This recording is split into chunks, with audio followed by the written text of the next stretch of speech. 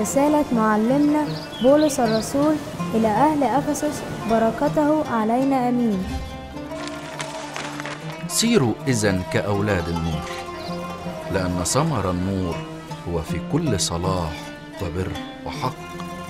مختبرين ما هو مرضي عند الرب ولا تشتركوا في أعمال الظلم غير المثمرة بل بالحري وبقوها. لأن الأمور التي يفعلونها سرا ذكرها أيضا من العار. ولكن كل ما يوبخه النور يعلن لأن كل ما أظهر فهو نور. ومن أجل هذا يقول قم أيها النائم وقم واقفا من بين الأموات فيضيء لك المسيح. فانظروا إذن يا إخوتي بالتدقيق كيف تسيرون لا كجهلاء بل كحكماء مفتدين الوقت لأن الأيام شريرة. من أجل هذا لا تكونوا أغبياء بل افهموا ما هي إرادة الرب.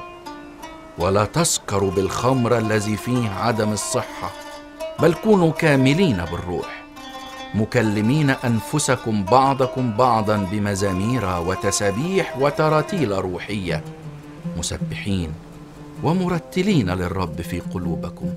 شاكرين كل حين على كل شيء. في اسم ربنا يسوع المسيح.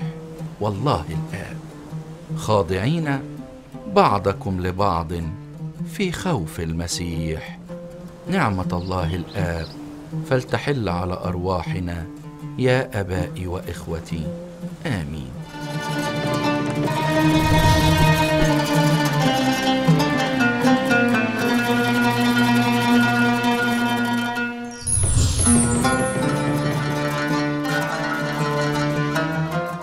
الكاثوليكون فصل من رسالة معلمنا بطرس الرسول الأولى. بركته علينا أمين.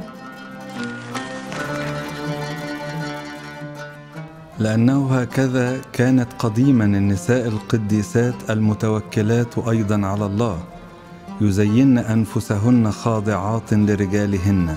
كما كانت سارة تطيع إبراهيم وتدعوه سيدي التي صرتن لها بنات. صانعات الخير وغير خائفات خوفا من أحد البتة. كذلك أنتم أيضا أيها الرجال كونوا ساكنين معهن عالمين أن النساء آنية ضعيفة. معطين إياهن كرامة كالوارثات معكم نعمة الحياة بأي نوع. لكي لا تعاق صلواتكم. والنهاية كونوا جميعا برأي واحد. وكونوا مشتركين في الآلام وكونوا محبين الإخوة رحومين متواضعين غير مجازين عن شر بشر أو عن شتيمة بشتيمة بل بالعكس مباركين لأنكم لهذا الأمر دعيتم لكي ترثوا البركة لأن من أراد أن يحب الحياة ويرى أياما صالحة فليكفف لسانه عن الشر. وشفتيه ألا تتكلما بالمكر وليحد عن الشر ويصنع الخير وليطلب السلام ويجد في أثره. لأن عيني الرب تنظران الأبرار وأذنيه تنصتان إلى طلبتهم. وأما وجه الرب فضد فاعل الشر. فمن ذا الذي يمكنه أن يؤذيكم إذا كنتم غيورين على الخير؟ ولكن إن تألمتم من أجل البر فطوباكم وأما خوفهم فلا تخافوه ولا تضطربوا لا تحبوا العالم ولا الأشياء التي في العالم لأن العالم يمضي وشهوته معه وأما من يعمل مشيئة الله فإنه يثبت إلى الأبد. آمين.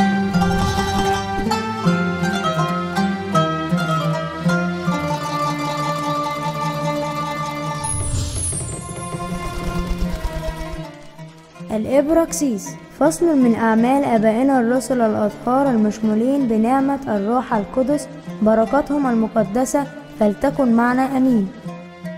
ولكن حدث لما استكملنا الأيام خرجنا ومشينا وهم يشيعوننا مع نساء أيضا وأولادهم إلى خارج المدينة. فجسونا على ركبنا على الشاطئ وصلينا. ولما ودعنا بعضنا بعضا ركبنا السفينة. وأما أولئك فرجعوا إلى خاصتهم. وأما نحن فأقلعنا من سور وأقبلنا إلى بطلمايس عكا. فسلمنا على الإخوة وأقمنا عندهم يوما واحدا. ثم خرجنا في الغد وجئنا إلى قيصرية. فدخلنا بيت فيلبس المبشر إذ كان واحدا من السبعة وأقمنا عنده. وكان لهذا أربع بنات عذارى كنا يتنبأن. وبينما نحن مقيمون هناك أياما كثيرة جاء واحد من اليهودية نبي اسمه اغابس فجاء إلينا وأخذ منطقة بولس وربط يدي نفسه ورجليه وقال هذا ما يقوله الروح القدس. إن الرجل الذي له هذه المنطقة سيربطه اليهود هكذا في أورشليم ويسلمونه إلى أيدي الأمم. فلما سمعنا هذا طلبنا إليه نحن والإخوة الذين في ذلك المكان أن لا يصعد إلى أورشليم. حينئذ أجاب بولس وقال ماذا تفعلون؟ تبكون وتحزنون قلبي لأني مستعد ليس أن أربط فقط بل أن أموت في أورشليم لأجل اسم الرب يسوع. ولما لم يقنع سكتنا قائلين لتكن إرادة الرب. لم تزل كلمة الرب تنمو وتكثر وتعتز وتثبت في بيعة الله المقدسة. آمين.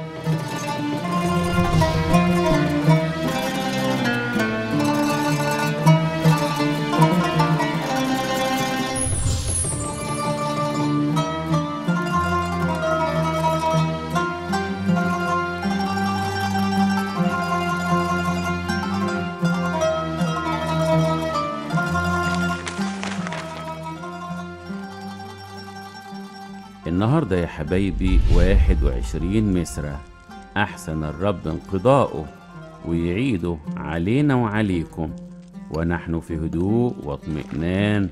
مغفور الخطايا والآثام من قبل مراحم الرب. آمين. النهاردة تعيد الكنيسة بالتذكار الشهري لوالدة الإله القديسة العذراء مريم. بركة شفاعتها تكون معانا. آمين. وكمان زي النهاردة في القرن الأول الميلادي تنيحت القديسة إيريني وكانت بنت الملك ليكينيوس ملك مقدونيا في أوروبا. وعلشان إخواتها اللي قبلها ماتوا كان خايف عليها باباها فبنى لها قصر كبير ليه سور عالي علشان تعيش فيه ومعاها 13 جارية يخدموها وكان عمرها ست سنين. وعلشان هو بيعبد الأوثان ساب لها في القصر تماثيل علشان تسجد لها وتعبدها وعين لها شخص فاضل حكيم علشان يربيها اسمه أبوليانوس وكان مسيحي. ولما كبرت باباها كان عاوز يجوزها من واحد أمير فطلبت منه وقت علشان تفكر ودخلت على الأصنام تطلب منها ترشدها. طبعا مفيش أي رد. رفعت عينيها للسماء وقالت يا إله التلاميذ والرسل القديسين عرفني وارشدني ليك. ظهر لها ملاك الرب وقال بكرة هيجيلك واحد من تلاميذ بولس الرسول ويعلمك كل حاجة وكمان يعمدك. وفعلا تاني يوم جالها القديس تيموثاوس وعلمها الإيمان وعمدها فقامت وكسرت الأصنام. دخل باباها علشان يعرف الرد على موضوع زواجها فاعترفت قدامه بإيمانها بالسيد المسيح. فأمر إنها تتربط في ديل حصان ويجري لكن حصل حاجة عجيبة. الحصان لف نفسه ومسك باباها الملك ورماه في الأرض فوقع ومات. القديسة إيريني قعدت تصلي لربنا يسوع المسيح علشان يظهر مجده للجميع وكانت المفاجأة. باباها قام من الموت ورجعت له الحياة. آمن هو وزوجته وكمان تلات آلاف شخص وثني واتعمدوا كلهم. ربنا أعطى القديسة إيريني موهبة عمل معجزات وناس كتير أمنوا بالسيد المسيح بسببها ومنهم أمراء وعظماء. استأذنت القديس تيموساوس وراحت مدينة أفسس في آسيا الصغرى لغاية لما تنيحت بسلام. بركة صلواتها فلتكن معنا ولربنا المجد الدائم إلى الأبد. آمين.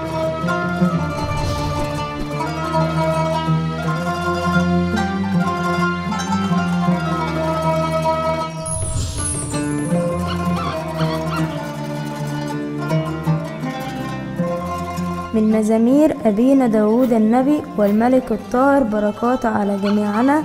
أمين. يدخلنا للملك عذارى في إثرها. جميع صاحباتها له يقدمنا. يدخلنهن بفرح وابتهاج يدخلنهن إلى هيكل الملك هلي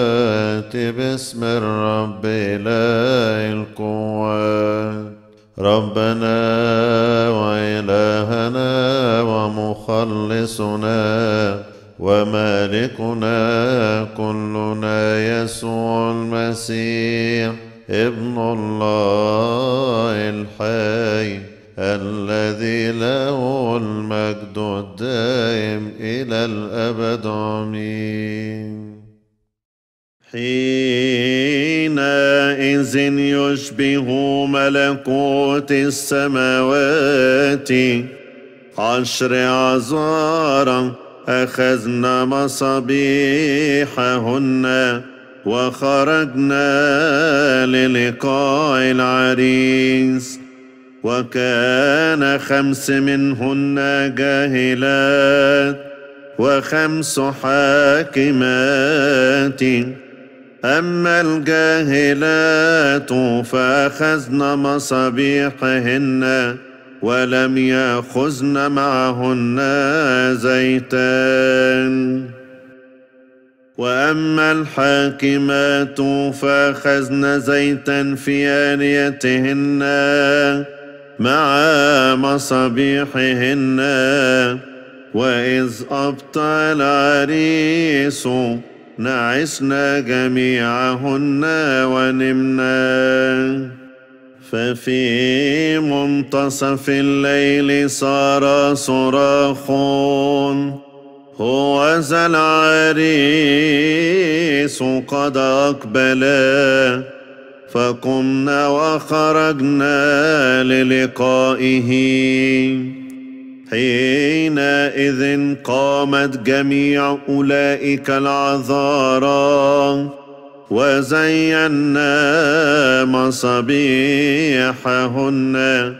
فقالت الجاهلات للحكيمات أعطينا من زيتكن فإن مصابيحنا تنطفئ فأجابت الحاكمات قائلات لعله لا يكفي لنا ولا كنا. فالأحرى أن تذهبنا إلى الباعة وابتعنا لكنا. فلما ذهبنا ليبتعنا جاء العريس والمستعدات دخلنا معه إلى العرس وأغلق الباب. وأخيرا جاءت باقية العذار قائلات ربنا ربنا افتح لنا.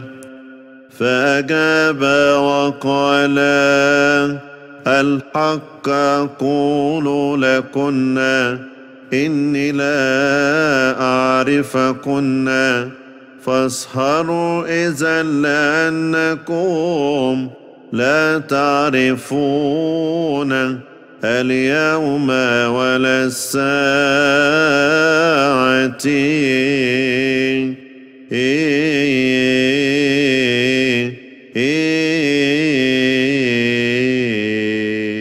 والمجد لله